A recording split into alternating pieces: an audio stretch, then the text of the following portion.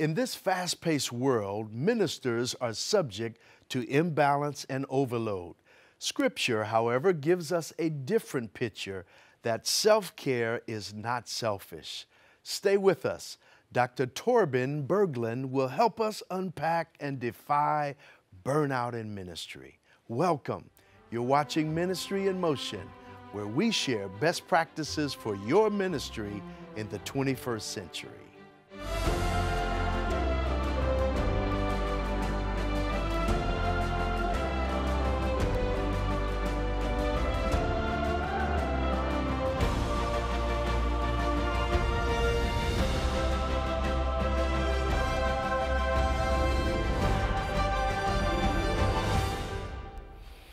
Dr. Bergland, welcome to Ministry in Motion. So, pastors do burn out. Yes, they do. they do. Pastors are just human beings. Yeah. Whether we like to acknowledge that or not, they're just human beings, and whatever other people can have, pastors can have too. You know, I had a conference president to tell me after I made a presentation about this that pastors don't burn out. Hmm. Um, and I wondered what world he lived in. I remember starting ministry at 21 years of age, and I used to hear senior leaders, pastors, brag about the last time they had a vacation, as if that were a badge of honor. Um, but you have seen differently as a psychiatrist, correct? Yes, like both in my, before when I worked as a psychiatrist and after coming into the church, sort of I have had contact with pastors on a one-to-one level, but now also on a more systemic level, mm. uh, where we see that burnout is a major issue actually among Adventist pastors, as it is with pastors and priests in other denominations also. I don't think we, we don't have any haven't seen indications that, that we should think it's a much bigger problem among us, but that it is a significant problem, that is for sure. Mm. And, and we need to discuss sort of why is right. it like that and what do we do about it, both on an individual level, how do we support the individual pastor, what can the individual pastor do for himself, herself in order to manage it, but yes. I think also the systemic aspects of, of it. What, what is it in our system, uh, in the mm. way we operate, the culture uh, that we have, um, and also how, as leaders, how, how are pastors taken care of and supported in their ministry? You know, uh, working as a pastor in our quote unquote culture and system, uh, we serve the local congregation but we also serve a greater administrative body, uh, i.e., the conference or union or division and so forth. And there are expectations on both ends of those spectrums. And sometimes, with pastors' desire to uh, be liked or be pleased, could that drive them down burnout's lane? Well, I, I, think definitely. And I think to add to that also is the pastor's expectations to himself or ah. herself. Also, that I also think think play a major role. So you have all these three: uh, uh, the local church, the conference, uh, yes. uh, your superiors, and your own self. That may be mm. pulling you in different directions, uh, and that may definitely be challenging. You know, I'll come back to unrealistic expectations. But let's dive in and get a baseline definition. What is burnout? Well, burnout, the way it's sort of conceptualized, uh, it's not fully recognized as a diagnosis. Okay. Uh, even though people are pushing it for it to be be uh, recognized as, as a mental health diagnosis, some people are suggesting it should be a subcategory of depression mm. Uh, because there's a, there's a major overlap between depression and burnout. Okay. One of the ways to distinguish between the two is that if it's uh, like a, a clear-cut uh, burnout, then then sometimes people it will be more specific. The symptoms will be uh, related to the work context, or if there would be some other aspect of life where you're burnt out, that would be just located to that aspect, but that otherwise in life you will be doing well. So, so some people, I um, a couple of weeks ago, I was taking an Uber uh, to to the airport and started talking with with uh, the driver. Uh-huh. Uh, he was mid 50s or something, uh, and, and he told like about how he had been working in government big projects, uh, but then he had sort of lost interest in the work. He, wasn't now he wasn't even able to drive in the area where the offices were. That's how strong his aversion towards it, it was. And now he was his plan was to drive Uber the last 10 years until he could retire. Uh, so that, that's but, but like otherwise he was doing well and I think that that's a typical characteristic of burnout that sort of you it's it's it's it's localized Ah. to the work context uh, but otherwise you can do well if it's a depression it will be usually more like more global it affects all aspects of life Got it. so, so that, that's a way to distinguish it. But the way we uh, sort of conceptualize depression now, it's like it has three major sort of dimensions. Okay. Uh, the first is what we call energy depletion or exhaustion, Right. which is like what it's sort of what we typically think about. And this, this it can be really severe. It can be so severe that you, you basically know almost not able to get out of bed. Uh, so the, it's it's it's a it's a major thing. Uh, but then there are two other dimensions that, like in our like uh, typical way of thinking, that may not be recognized. Uh, but one is what we call where people like mentally distance themselves from work and anything related to work. And that can be people can be have a very develop a negative attitude Mm, uh, Cynicism. cynicism, negative attitude Mm. towards uh, the people you work for or the people you work with. Uh, so, like you can just think in, in the in the context of a pastor, Yes. uh, if you start becoming very cynical towards like the conference, negative uh, about anything related to to leadership, or otherwise like your local church, that sort of like this the congregation this is hopeless. Yes. Uh, they are not doing anything. Uh, they are not supporting the ministry. They're not supporting the evangelism. They're not supporting these uh, things, or even sort of when when you are trying to reach people, uh, and then you are negative uh, towards them. These may be sort of indications right. that you may actually be in, in, in at risk or actually have developed a burnout. So you can have this even without sort of the exhaustion part of it. Got it. Um, and then the third dimension that also is, is uh, very important is what we call efficacy. That this is very much like the self evaluation uh, of how you are doing, where you start criticizing yourself for not doing a good job, not being as productive, as competent as is needed. So, so this then sort of it's the cynicism, negativism directed towards yourself. Um. And interesting when uh, in my the job I had before, the one I have currently, uh, we did some some assessments of pastors in, in the division where I worked. Uh-huh. And what we found is that the pastors, like on the exhaustion part, many of them they, they didn't score that high. There's still a, a significant number who were uh, in had had issues with burnout, but on the cynicism part and the efficacy part, that we saw that there were major issues uh, among many pastors, and that that indicates that they they are struggling. Torben, you're a medical doctor. You are a medical doctor. Uh, you're a psychiatrist. You serve here uh, for the General Conference and the Health Ministries Department. Um, unpack this for me. What's the difference between burnout and stress? Is burnout the result of stress overload, accumulative stress?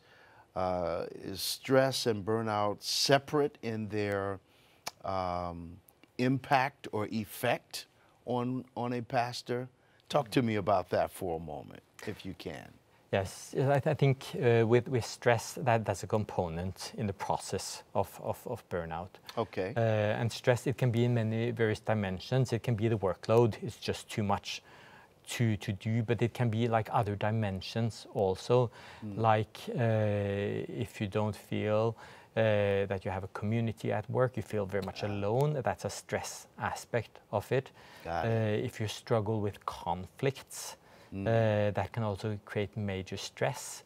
And that can also include conflicts of values to some, some extent. We know that also from burnout, that's, that's an issue. If, if you see a mismatch uh, between what the values we profess and what's actually what's actually happening Mm. um, in the organization, in the local church, or what what it is. Uh, if you feel that you're not supported, that you're not appreciated, that's also that causes stress. Wow. Um, and of course, Really? have- That's amazing. yes.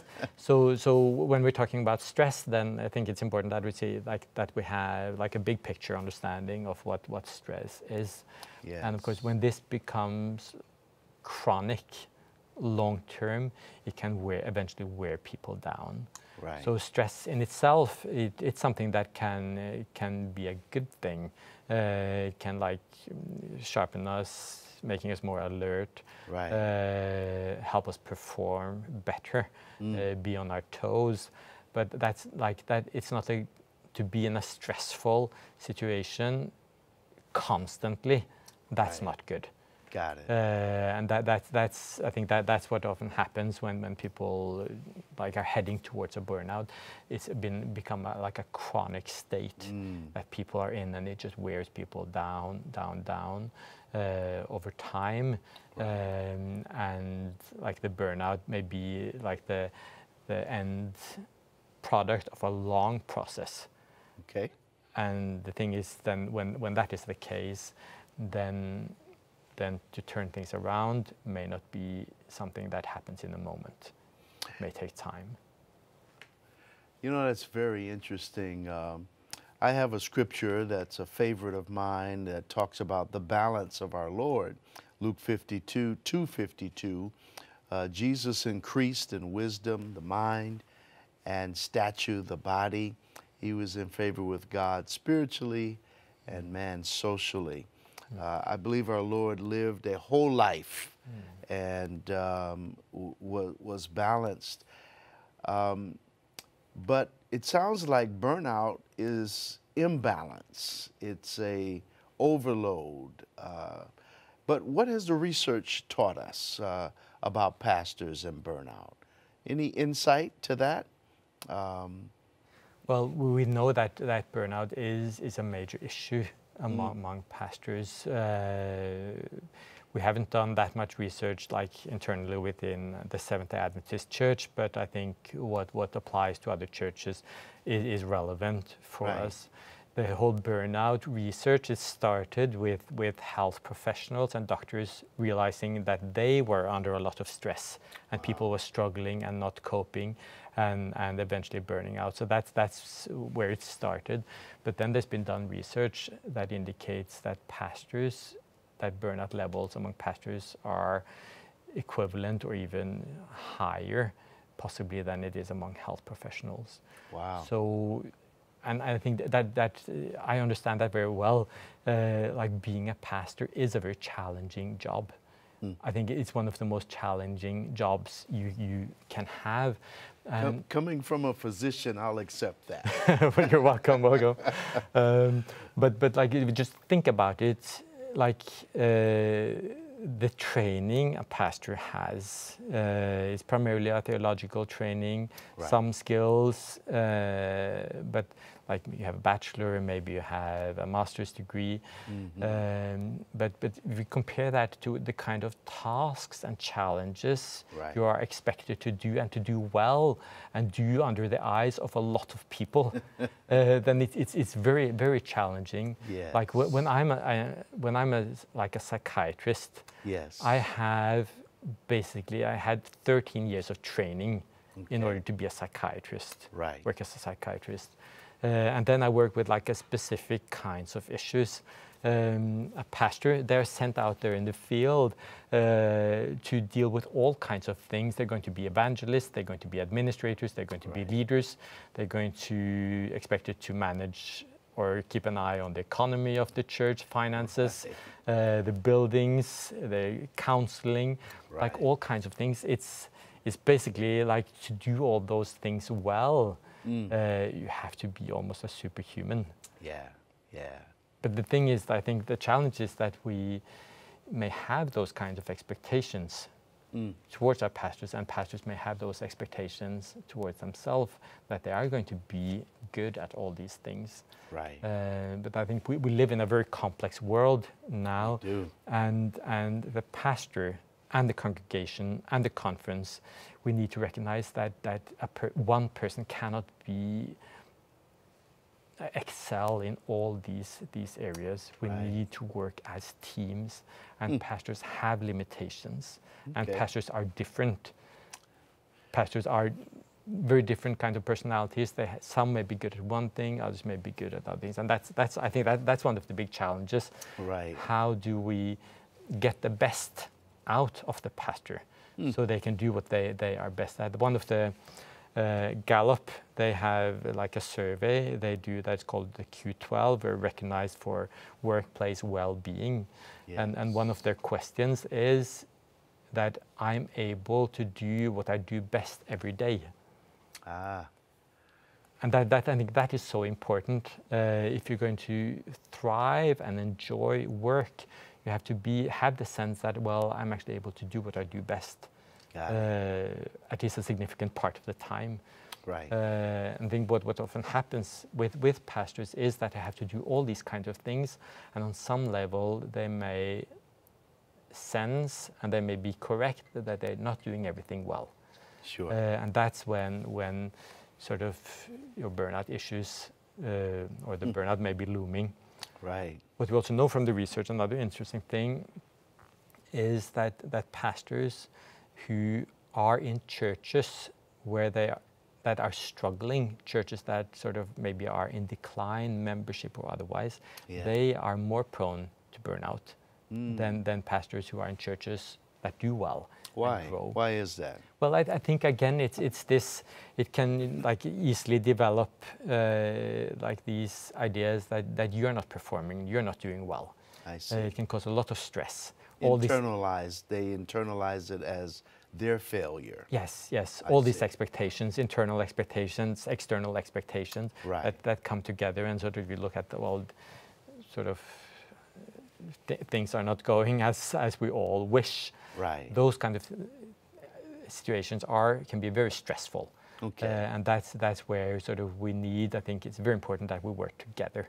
So to have this perspective, we're in this together. We don't don't just say this is the pastor's responsibility or issue. This is where the pastor, the church, the church leadership, uh, the conference, everyone have to go together and, and recognize this pastor may need more support someone in, in a church that is thriving. Interesting.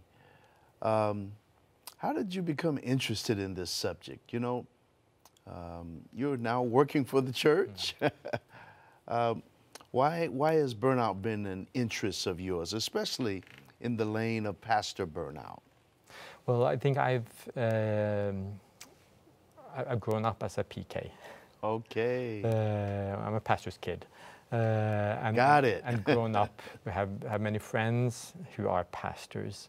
Uh, I've, I've seen this from the inside, even though I haven't been a pastor myself. sure. And I, for me, it's been a concern a long time. How do we support our pastors? Mm. What kind of systems, what kind of initiatives do we have in order to care for the pastor?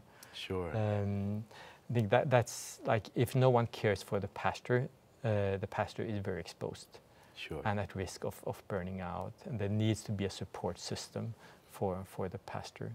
And that's also that, that's very important. But then sort of also coming into the church, working with this, talking with pastors, doing some probing into what, what the issues are. Mm. It sort of just has confirmed that this is a major issue that we need to take seriously. Very much so. How can uh, we prevent burnout uh, or recover from it if, if I've experienced it or a pastor has experienced it? What would you say? What would you recommend? Well, I think we have to look at the systemic issues.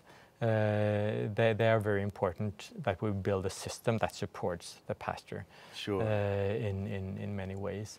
Uh, but then sort of when, when the pastor is in burnout, that, that's a bit late. This is Yeah. the preventative side, and that, that's where conference leadership needs to take responsibility. Church leadership has, has to, to step up to the game. Um, on, on the individual level, uh, I think what we talked about, the expectations Right. uh, to understand sort of what what what what expectations do I have? Are they re- realistic? How am I dealing with it? That, that that that's very important. Yes. Um, why did I go into ministry? Ah. What what is driving me, and what is keeping me from appropriate self care? Right. Would you say self care is not selfish? Well, definitely, definitely, definitely. It's like self care is essential. Uh, if, if you are in a high performance position, Yes. uh, if you don't do self care, you are doomed. Wow. Uh, that that That's will happen to, to, to anyone. That anyone, that's not just pastor, anyone. And I think this, this is where we uh, need to just like learn from other great leaders how Right. they've, they've managed is like self care. Um, and that, that's taking care of the other aspects of life. I think we live in a culture very much where there like there are two things that we do all the time. We are expected either to produce or we consume. Okay. What Produce or reproduce? well that, that we are productive. Productive. Uh, so we are expected to be productive non-stop. that is And I think also in, in the church context, we have like we're going to save the world. Hmm. That that's our calling and sense, and sort of we, we can take this whole the responsibility on my shoulders. Got it. Um, I like this. It sort of said sort of something that well, the job, this the sa- job of saving the world, that that's already taken. that's Christ who did that. Uh, like as I think as individuals serving in ministry, uh, serving in the church, we have to well, we are here to make a positive difference. Sure. Uh, but we must acknowledge that we are limited. Uh, and whether I work 40 hours a week or 60 hours a week, that, do- like in the big picture, that doesn't make a whole lot of difference. Right. Uh, and I think that that's an obligation we all have that we have to stay within not only our limits, but also live with appropriate margins. Sure. Uh, oftentimes we, we go into and doing things like like 100% or 120%. percent And that's where you have no buffer when things become difficult then then to manage what what, what happens. Amazing. And and also I think you, you may not be actually performing at your best uh, when you are stretching yourself all, all the time. Right. Um, so there's, there's a good book that's called Margins uh, that discusses this issue that, that, well, we should leave appropriate safety margins in everything that we do. Awesome. Um, so, so we have something, something a buffer when, when things become difficult. But I think this, this, is, this is a challenge. Right. And you can, people can easily have this, that, like, that self-accusations, well, that I'm, well, if I do self-care, that I'm being lazy, I'm being selfish, as you indicated. Um, but that's, I, I think we, we need to change that. I think it's very important to change that, to understand that, well, as a pastor, you're just a human being. Right. You need to sleep. You should sleep seven to eight hours a day, Mm. uh, as we recommend to anyone else. uh, you need to rest.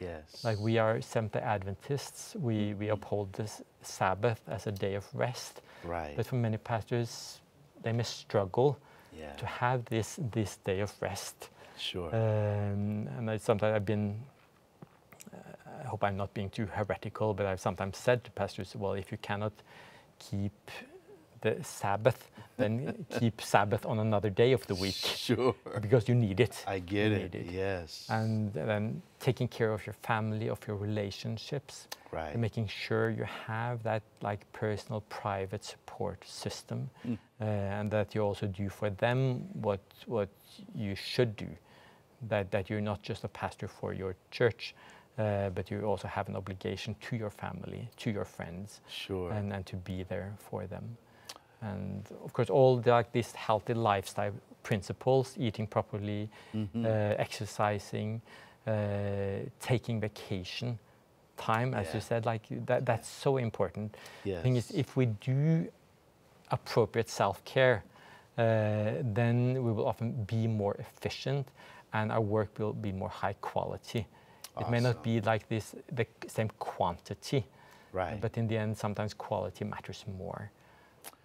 You know, uh, as we close the uh, program, um, does Ellen White have anything to say about this? Yes. I, I love a quote uh, that she does, and I often, when I talk to pastors about uh, these issues, I, I love to quote it. Uh, this is from the Re- Review and Herald, 1893. Wow. And it's, it's titled, the article, Come Ye Yourself Apart and Rest a While, Yes. with a reference from the Bible, from what Jesus said. Mhm. And uh, if I may read it, Please. um, she says, and listen to this, this it's good. She says, Our God is ever merciful, full of compassion, and reasonable in all his requirements. Mm. He does not require that we shall pursue a course of action that will result in loss of our health.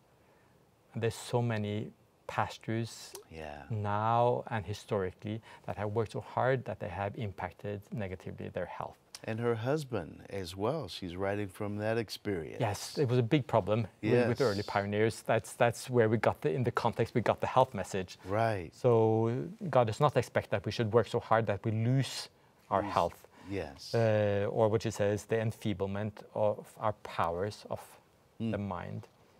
Uh, he would not have, and here she's speaking very directly. He would not have us work under pressure and strain until exhaustion follows wow. or burnout right. follows, we could say, and the prostration of nerves.